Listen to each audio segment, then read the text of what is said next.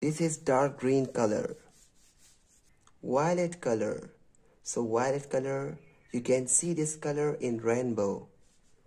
This is red color. This dark blue color. Orange color. Seen this color before? This is brown color. So, we learned about different colors in this video.